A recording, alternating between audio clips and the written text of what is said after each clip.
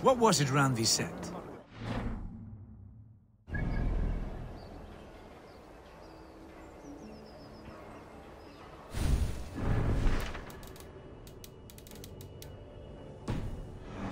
Spends his days in the mead halls and his nights on barren planks of wood.